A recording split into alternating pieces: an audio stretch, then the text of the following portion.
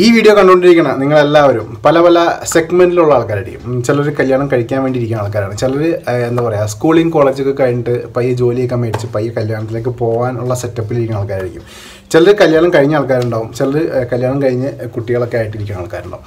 അപ്പോൾ എല്ലാവർക്കും ഒരു ഇൻഫർമേഷനാണ് ഈ ഒരു വീഡിയോ മെയിനായിട്ട് ഞാൻ പറയാൻ പോകുന്നത് കല്യാണത്തിന് മുമ്പ് കുറച്ച് കാര്യങ്ങളൊക്കെ ശ്രദ്ധിക്കുക. ശ്രദ്ധിച്ചിട്ടുണ്ടെങ്കിൽ നിങ്ങൾ ലീഗലി കുറച്ച് പ്രശ്നങ്ങളിലൊക്കെ പെടാതിരിക്കാൻ നിങ്ങളെ സഹായിക്കും. മെയിനായിട്ട് ഏജിന്റെ കാര്യങ്ങളാണ്. അപ്പോൾ ഏജിന് കുറേ സംഭവങ്ങളൊക്കെ ഉണ്ട്. പതിനെട്ട് വയസ്സായി കഴിഞ്ഞാൽ എല്ലാവരും മേജറാണ് പക്ഷേ പതിനെട്ട് വയസ്സായി കഴിഞ്ഞാൽ എല്ലാവരും കല്യാണം കഴിക്കാൻ പറ്റില്ല. പക്ഷേ വേറെ കുറച്ച് കാര്യങ്ങളൊക്കെ ഉണ്ട്. അപ്പോൾ ഇതിന് പ്ലസ്സും ഉണ്ട് മൈനസും ഉണ്ട്. അപ്പോൾ ആ പ്ലസ്സും മൈനസൊക്കെയാണ് ഞാൻ നിങ്ങളിലേക്ക് പറയാൻ പോകുന്നത്. നിങ്ങൾ കണ്ടുകൊണ്ടിരിക്കുന്ന വൈഡ് ആംഗിൾ റിവ്യൂസ് ഞാൻ അനുരാജ്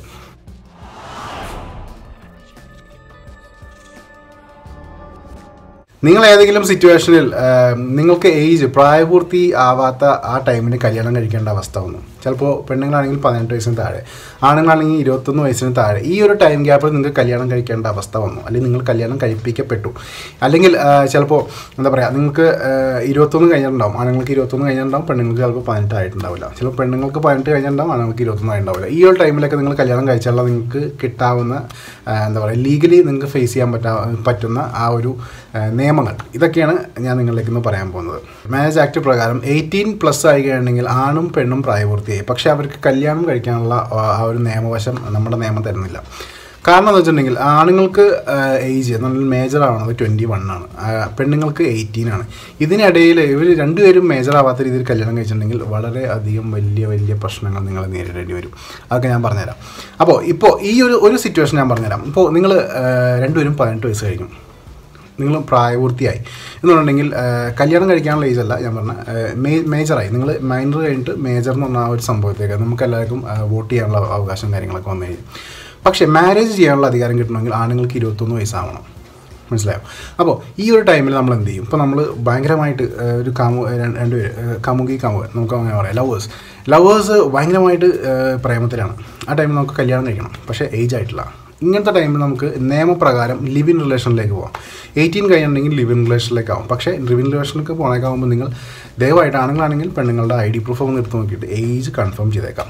ഏജ് കൺഫേം ചെയ്തില്ല എന്നുണ്ടെങ്കിൽ നിങ്ങൾക്ക് സെക്ഷലി നിങ്ങൾ ബന്ധപ്പെടുകയാണെന്നുണ്ടെങ്കിൽ അത് ഹാഫ് സെക്സ് ആയാലും ഫുൾ സെക്സ് ആയാലും നിങ്ങൾ ഫുൾ സെക്സ് ആണെന്ന് ചെയ്യണമെന്നുണ്ടെങ്കിൽ നിങ്ങൾക്ക് എന്താ പറയുക റേപ്പിന്റെ കേസ് നിങ്ങളുടെ തലയിലേക്ക് വരും.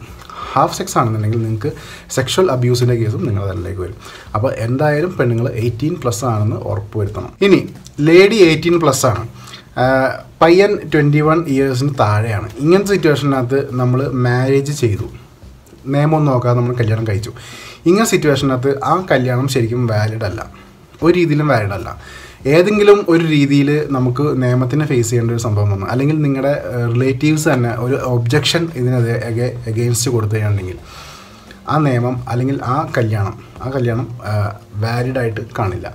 ഇനി ഒന്ന് ഇമാജിൻ ചെയ്യുക പതിനെട്ട് വയസ്സ് കഴിഞ്ഞ പെണ്ണ്. പക്ഷേ പയ്യന് ഇരുപത്തൊന്ന് വയസ്സായിട്ടില്ല.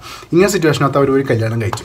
കല്യാണം കഴിച്ച ടൈമിനകത്താണെങ്കിൽ ഇവർക്ക് പയ്യന് സെക്ഷൽ അബ്യൂസോ അല്ലെങ്കിൽ റേപ്പിന്റെ കേസൊന്നും വരില്ല. കാരണം ലേഡി ഓൾറെഡി എയ്റ്റീൻ പ്ലസ് ആണ്. പക്ഷേ നിങ്ങൾ കഴിക്കുന്ന കല്യാണം ആ കല്യാണം ഒരിക്കലും ഒരു വാലിഡ് അല്ല. വാലിഡായിട്ട് കണക്കാക്കപ്പെടില്ല. കാരണം വേറെ ഒന്നുമല്ല പയ്യന് ഏജ് ആയിട്ടില്ല. ഈ ഒരു സിറ്റുവേഷനകത്ത് നിങ്ങളുടെ റിലേറ്റീവ്സ് അല്ലെങ്കിൽ നിങ്ങൾ അറിയപ്പെടുന്ന ഏതൊരു ആൾ ഇതിനെതിരെ എഗെയിൻസ്റ്റ് ഒരു ഒബ്ജക്ഷൻ റേസ് ചെയ്യുന്നുണ്ടെങ്കിൽ ആ കല്യാണം അതോടുകൂടി തീരും. കാരണം ആ കല്യാണം വാലിഡായിട്ട് കണക്കാക്കില്ല. ഇനി ഈ രണ്ട് പേരിൽ ഈ ലവേഴ്സിൽ ആരെങ്കിലും ഒരാൾ വേറെ കല്യാണം കഴിച്ച് വേറെ കല്യാണം കഴിച്ചിട്ടുണ്ടെങ്കിൽ അത് ഓട്ടോമാറ്റിക്കലി ഈ കഴിച്ച് ഈ ഫസ്റ്റ് നിങ്ങൾ ചെയ്തേക്കുന്ന കല്യാണം അത് വാലിഡ് ആവില്ല അത് വോയിഡ് ആയി പോകും. എന്നുണ്ടെങ്കിൽ നിങ്ങൾക്ക് രണ്ടാമത് കഴിച്ച കല്യാണമായിരിക്കും ലീഗലി നിങ്ങൾക്ക് ഏജ് ആയിട്ടുണ്ടെങ്കിൽ ലീഗലി അതായിരിക്കും വാലിഡ് പക്ഷേ പഴയ മാരേജ് അതേപോലെ തീർന്നു പോകും. അപ്പോൾ ഇത്രയൊക്കെയാണ് നിയമവശങ്ങൾ. ഇഷ്ടപ്പെടുന്നുണ്ടെങ്കിൽ സബ്സ്ക്രൈബ് ചെയ്തേക്കാം ലൈക്ക് ചെയ്തേക്കാം ആ ബെല്ലൈക്കും കൂടി ഒന്ന് ഹിറ്റ് ചെയ്തേക്കാം. Thank you thanks for watching